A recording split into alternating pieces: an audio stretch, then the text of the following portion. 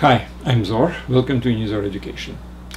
Um, today we will talk about strong forces, the forces which are inside the nucleus of the atom, um, and they hold basically the nucleus together. Now, this lecture is part of the course called Physics for Teens, presented on unizor.com. Um, the uh, the course presented there, uh, well, it's a course, which means there is a menu, there is a sequence of lectures which logically follow uh, one from another and I do suggest you to basically take the whole course on the website rather than just individual lectures which you can find on YouTube or somewhere else. Um, now the website contains also a prerequisite course called Math for Teens.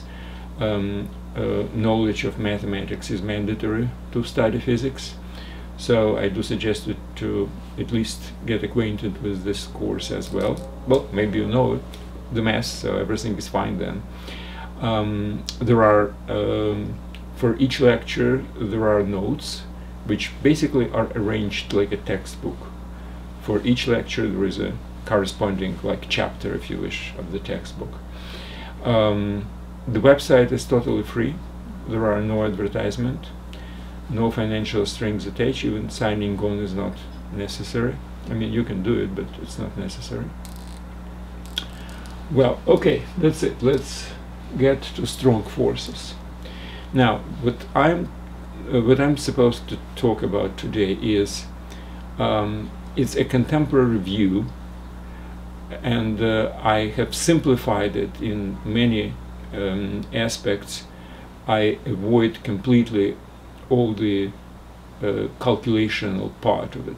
So talking about like a general understanding of what strong forces actually are and how they act inside the nucleus with certain details obviously but not the nitty-gritty of quantum theory absolutely not it's beyond the uh, level of this course so um, and again, there are certain things which are like theories. Mm, some of them are not necessarily firmly confirmed by experiment, uh, but nevertheless, again, it's introduction into a theory of strong forces. It's not really a complete explanation of how everything is working. So, let's start from um, the concept which we used to deal with before. It's a concept of field, and examples are gravitational field and electromagnetic field. Now, what's important about the field as we know it? Well, number one, we need something which we call a charge, right? Well, the charge is the word which we have borrowed from electromagnetic field, electric charge basically, positive or negative. In the world of gravitation, the equivalent of the charge is mass. But we will use, but we will use the word charge, equally applicable to electromagnetic field as basically their charge, and in the gravitational field, which basically is something which we use to, to call mass. But we will use the word charge generally for the field. So if there is a field, it means somebody should produce this field. And what exactly produces the field? A charge. Okay, so field needs the charge. Also what field needs? Field needs something which acts and um, the force basically. The, the, the, what is the field? Field is something where we feel the force of something. Well, the feel the force of this charge, for example. So if you are a, let's say, positive charge, and there is another positive charge, you feel repelling force, right? Now, here we have, let's talk about electromagnetic field. Here we have duality between the wave theory and corpuscle theory. And we have basically agreed that electromagnetic field has basically dual properties. And there is something which we called photon, if you remember. Photon is something which is basically a, a carrier of the energy and you can say that exchange of photons which basically means exchange of quantum of quanta of, of energy is what makes actually the force so if there is a field there is a charge and there is a force which is supposed to be connected to something which basically activate that force. It's, it's a carrier, if you wish, of energy of the field. So the photon is a carrier of the energy of electromagnetic field.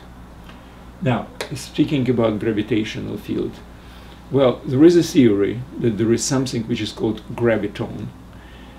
And again, there are some experiments which were suggesting that they exist, but in any case, as a theory, we do kind of accept or we don't find that this is completely outrageous, that there is something which is called graviton. Graviton, which is, a, again, a quantum of energy of gravitational field, which basically carries this energy and manifests, existence of these manifest as a force. Now, why do I talk about this? because strong nuclear force is something which we definitely observe. Let's talk about the nucleus. Nucleus contains protons and neutrons. Protons are positively charged, which means they all repel each other. We need force which keeps them together. It's not gravitational force because it's much weaker than even electromagnetic field. I mean like millions of times weaker. Uh, so there is another force. So this is called a strong force, which people basically have to have. I mean, I'm not really saying we observe it, but the manifestation of existence of this force is that our, well, universe exists and the atoms exist and the nucleus is not really breaking apart because of repelling electric, electric forces. Now, if there is a force, it means there is a force field because it's not really acting like pushing each other. No, it's on a slight distance from each other, right? So if there is a force, there is a field. If there is a field, there is a charge, and there is a carrier. Okay, so we have come to a conclusion that there is something which is called a, a strong nuclear uh, force field, that it needs a source of this field, something which is called basically a charge, and we need uh, carriers, agents which carry the energy of the strong nuclear force from one participating particle to another. Okay, so that's kind of a logical explanation of what will be next, because the next will be basically an explanation what is the charge and what are the carriers of these charges, carriers of energy of these charges in the strong nuclear force field. Now, it, I'm not talking about why, I'm talking about how. So I will explain how people are, how physicists are actually thinking about what this particular force field is and what are the, the, carriers, etc. I cannot answer the question why it exists this way. I, I, I don't know why uh, two positive, uh, electric positive uh, protons are repelling each other, or positive and negative are attracting to each other. But I can explain what exactly is happening. So the same thing with this nuclear force field. Let's not talk about why it exists and, and basically some kind of a reasoning or maybe axiomatic der derivation from something else. Well, it exists.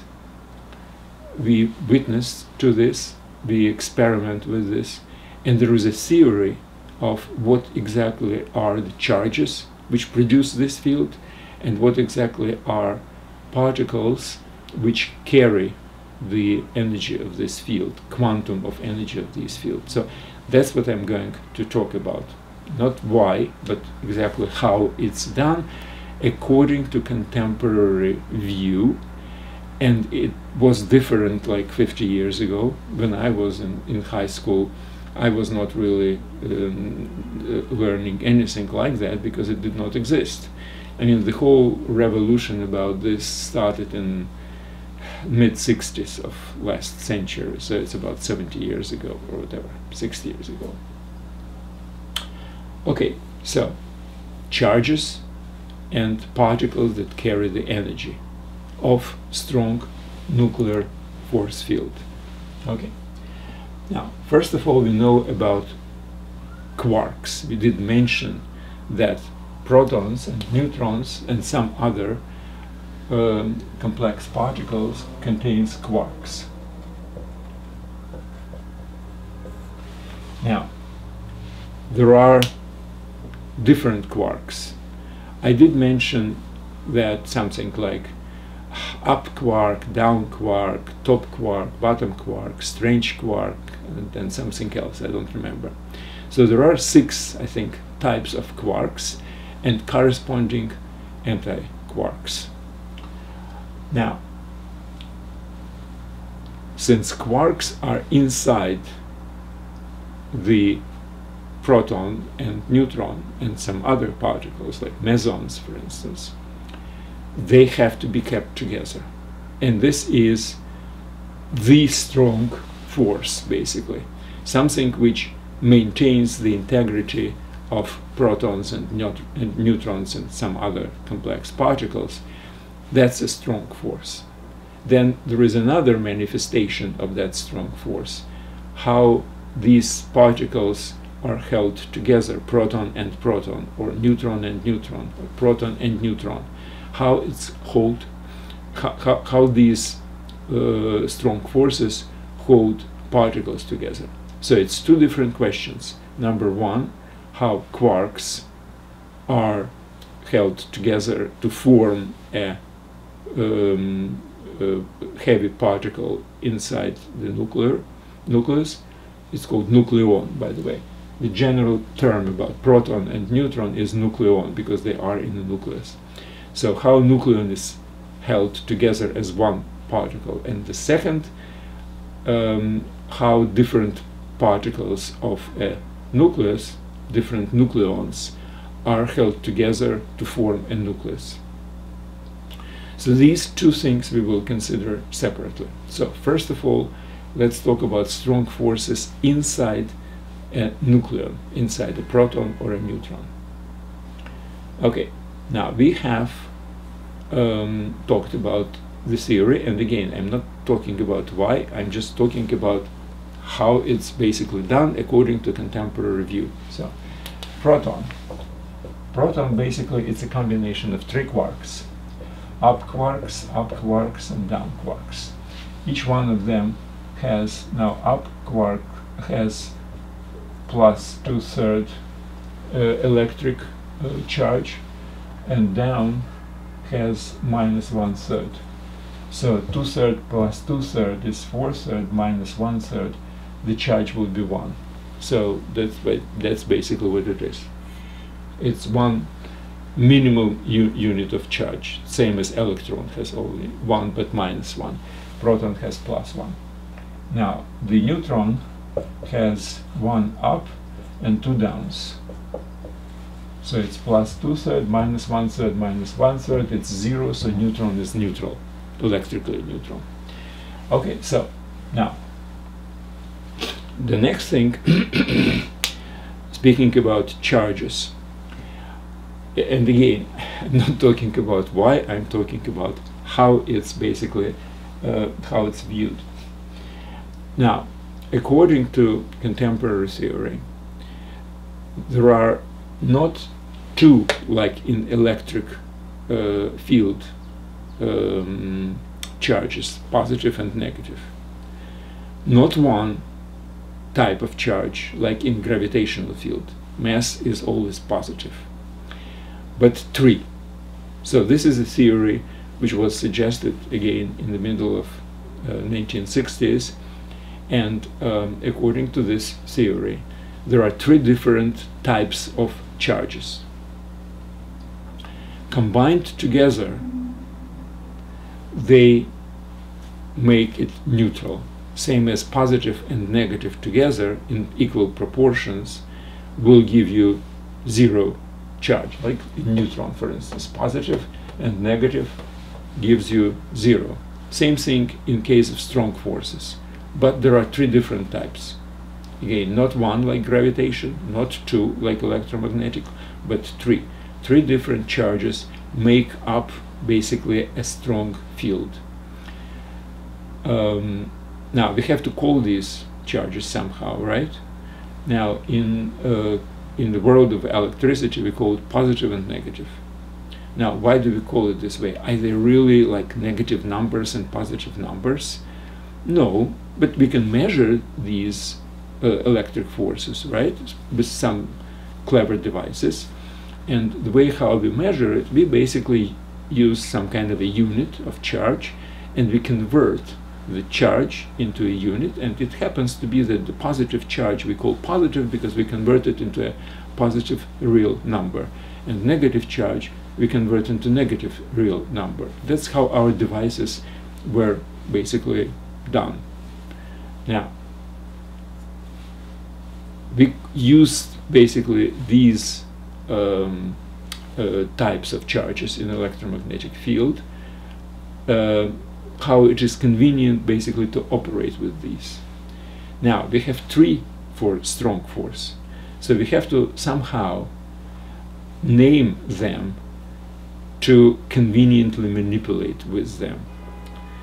And um, what's interesting is the computer technology um, related to colors is built on RGB principle red, green, and, and blue.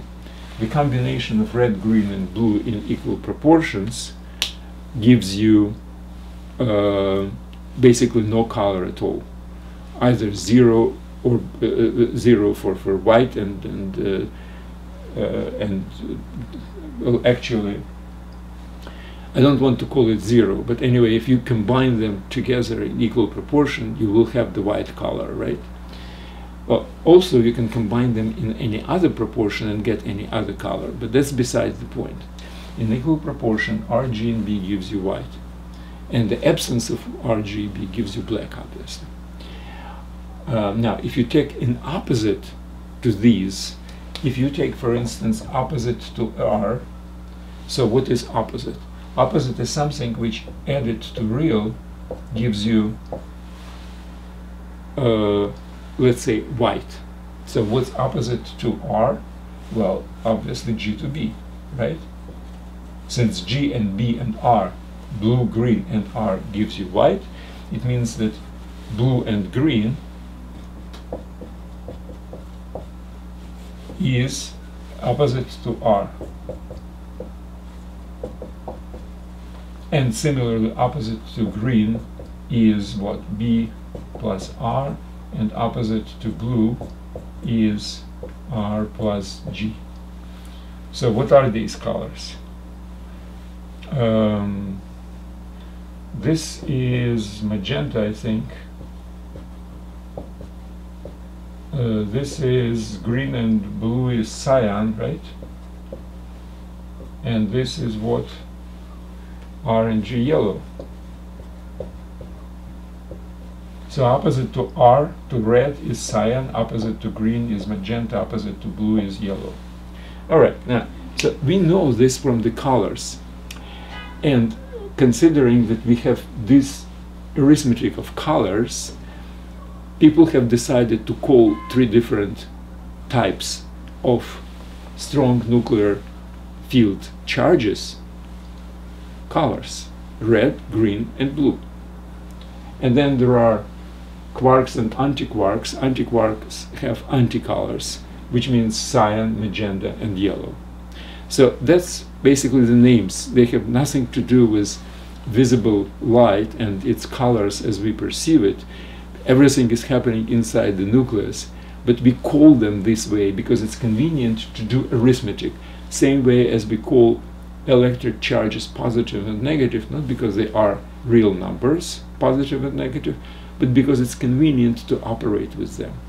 So, these are three uh, colors, which basically are names for three different types of charges. So I hope it doesn't really sound strange that we call a charge red or green or blue. That's the name of it. We call positive and negative for electricity, and we call red, uh, green, and blue for strong forces. All right. Now, what's interesting is that to maintain um, neutrality of the color, let's use the color um, uh, analogy. To maintain neutrality of the color, we need three colors together, combined in the same kind of quantity, if you wish. But there is no question about quantity right now because we're talking about quarks. That's the smallest thing, so that's the smallest amount of quantity, and it's the same quantity no matter what quark we take. So if we take one particular quark, it has certain charge. It might be either red or green or blue. But we need three quarks to maintain stability. Now, what does it mean maintain stability? Look at, for instance, atom of uh, hydrogen. It has positive proton, one proton, and one negative neutron. They are together, they hold together, or they hold on together. If you take a separate electron, it will go and go and it will look for wherever the positive charge is to stick to it. So it's kind of active until it gets the pair. So same thing here. If you would like stability, neutrality, and by the way, you have to observe the particle, right?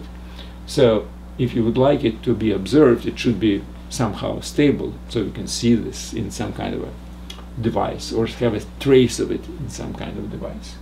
So we need three colors. So we need three charges three colors, three quarks. So these three quarks will have to have different colors to maintain neutrality of proton or a, a neutron. Now, they can be different. It can be RGB, it can be GBR or RBG or whatever, as long as there are three different colors. So three different colors means three different charge types of three different um, quarks which make up a particle inside a nucleus, a nucleon, a proton or neutron. That's what's needed. Okay, so we have three charges. That's good. Now, um, there are some other, by the way, particles like mesons, for instance, meson, which are a combination of two quarks. But again, we need neutrality, which means it can be something R and uh, let's say R uh, opposite, which is like red and cyan, or it can be blue and whatever, is yellow or something. and that can be different quarks. For instance, this can be U, and uh, this can be anti-quark, uh, D lowercase. Up quark and anti-down quark, which should have anti-color to this one. So the combination of these two colors gives you neutrality, and the combination of quark and anti-quark gives you meson. All right. So these are not parts of the nucleus; they're just flying somewhere. Primarily, they were uh, discovered in cosmic radiation, and obviously, we can artificially produce in some smart devices like cyclotrons, whatever. Okay, so we have come to understanding of what exactly charges which produce the strong nuclear field are. Okay, so charges are fine, but now we need agents which basically deliver these charges, like photons for electromagnetic field or graviton for gravitational field. We need some agents which deliver the force, which maintain the glue between three different quarks to make um, a proton or a neutron. Okay. So we have charges, now we need agents, we need particles which deliver the energy of these fields. okay, and this is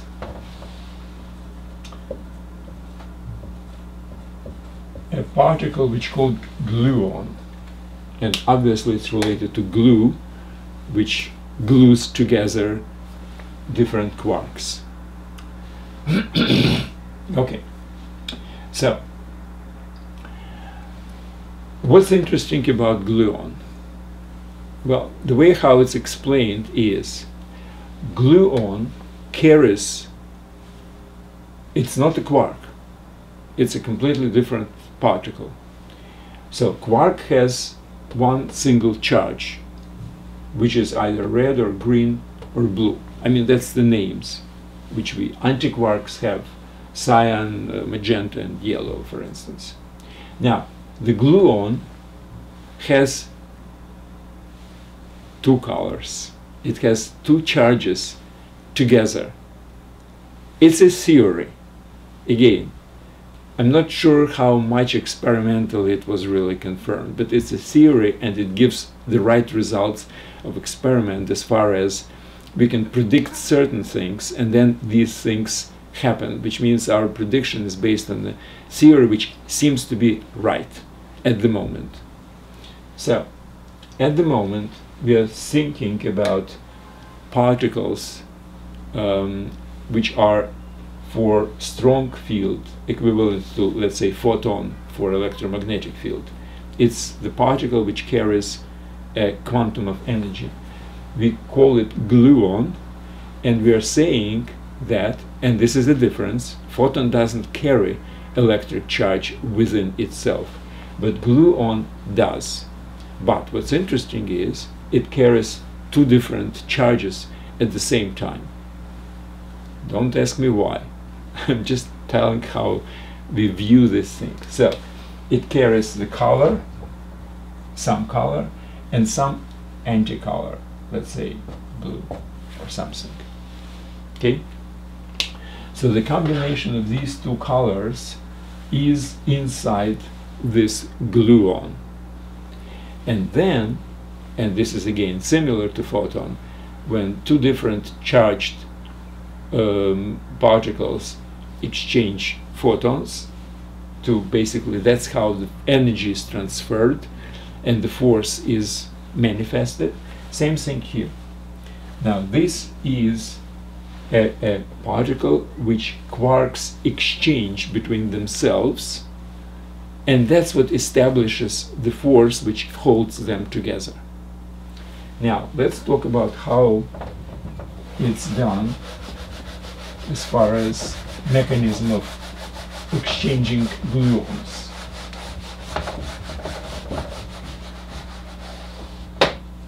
Let's say quark, quark,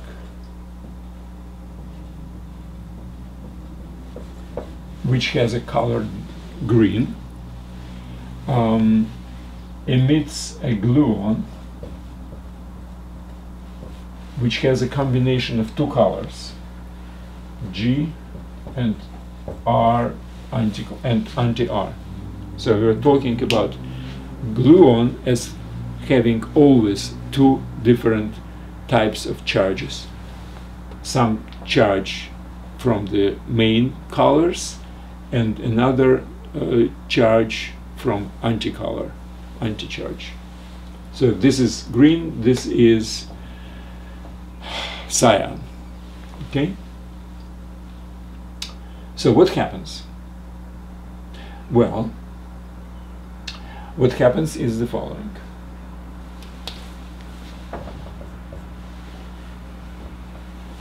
With this quark, there is an arithmetic. That's the original charge, right? Green. Now we emit this gluon, which means we subtract it. So we subtract G and we subtract R uh, anti-R, which is equal to quark. Well, G minus G is cancelled. What's minus R? It's a negation of cyan, which is red, right? Negation of anti-red is red. So what happens is the G quark is converted into R quark. So the charge is um, transformed from green to red. Now, obviously, this guy, this gluon, should be consumed by another quark. Now, there is a quark G in the proton or a neutron, so there must be quark R and another quark blue, right? So let's talk about the quark R. Now this quark consumes this gluon.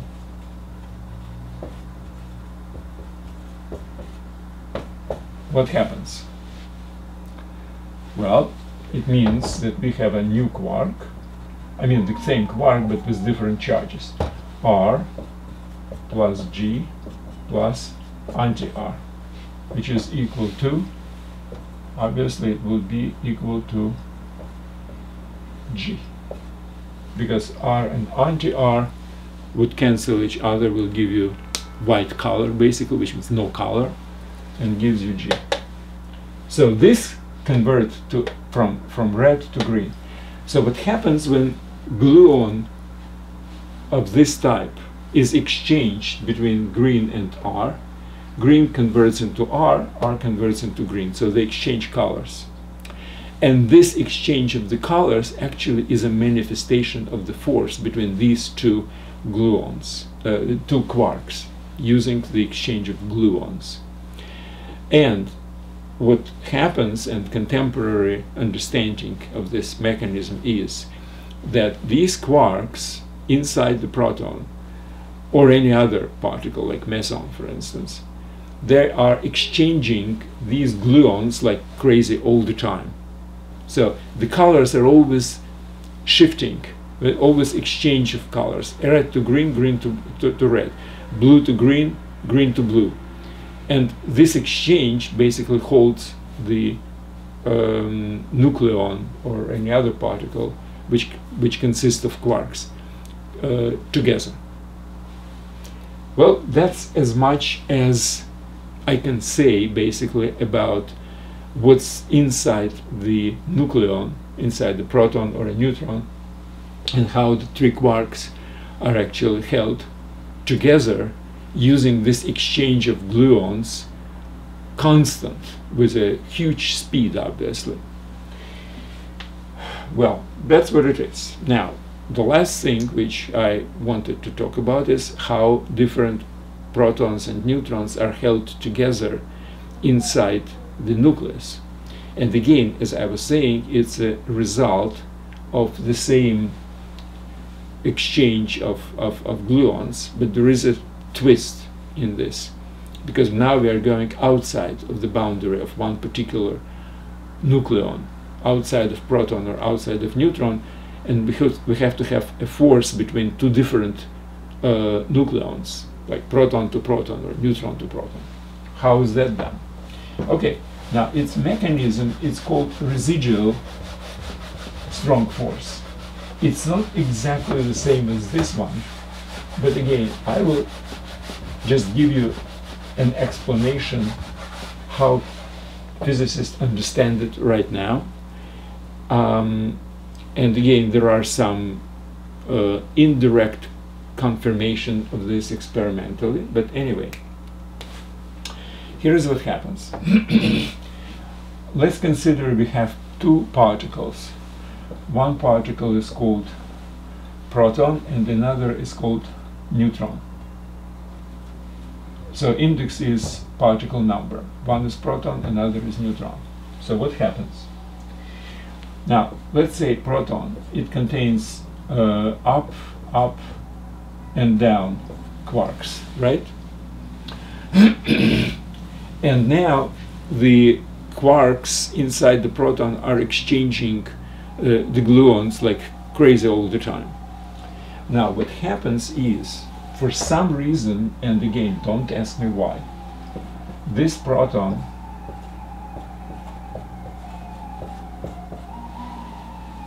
emits a pair of down and anti-down quarks. Now, since it's down and anti-down, it doesn't really change the electric component, it's still positive. So everything seems to be more or less intact. Why it happens, again, as I told, I don't answer the questions why. But let's consider it does happen.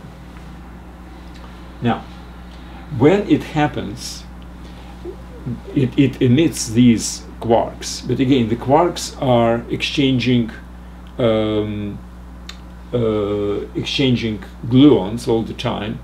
So the colors are changing. So there is always some kind of a very transitive uh, environment. And what happens is that this D is substitutes one of these quarks and this one is getting released. So, it, so instead of P1 we have U, D and D quark plus U plus D. But now this is a configuration not of a proton, this is a configuration of neutron. So the proton becomes neutron. The first, it's still, the index is 1, you see? So that's what happens. And this together is a combination of uh, quark and anti-quark, and it's called pi meson or pion. Now, this thing goes to this one, and 2. now its combination is up, down, and down since it's a neutron, right? Now plus u d, what happens?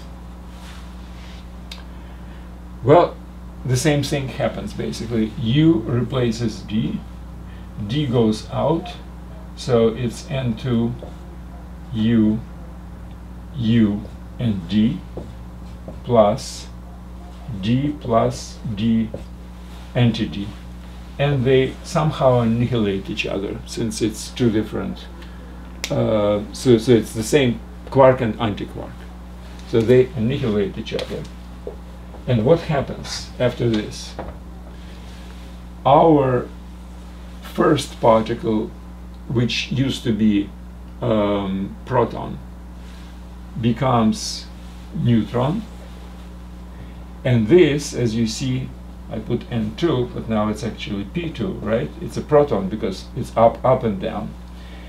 And the neutron becomes proton. So these proton and neutron, this and this, basically exchange their type. This becomes N1, and this becomes P2. Isn't that interesting? I mean, it's kind of wonderful thing. Okay, so that's what actually this conversion inside the uh, nucleon we exchange colors and that's what holds together here we exchange type between protons and neutrons. Proton becomes neutron neutron becomes proton.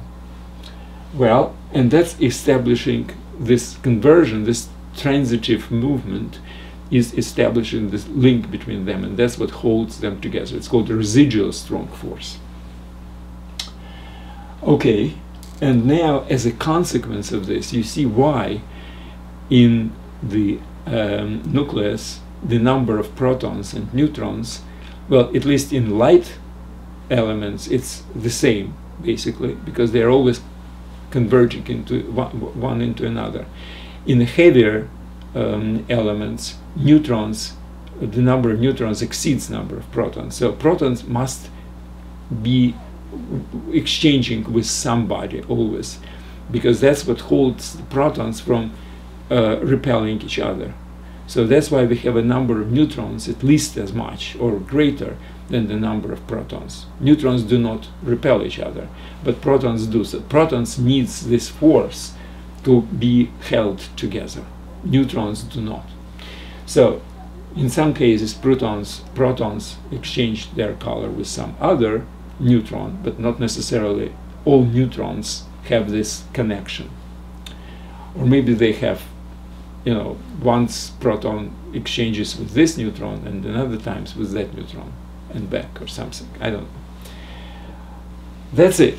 That's all I wanted to talk about strong nuclear forces. It's a lot, and I suggest you to read the notes for this particular lecture. You go to unizor.com. It's a Physics4Teens course. Next uh, topic is um, atoms, and then elementary particles, and this lecture is about one of the elementary particles art, uh, um, chapters. That's it. Thank you very much and good luck.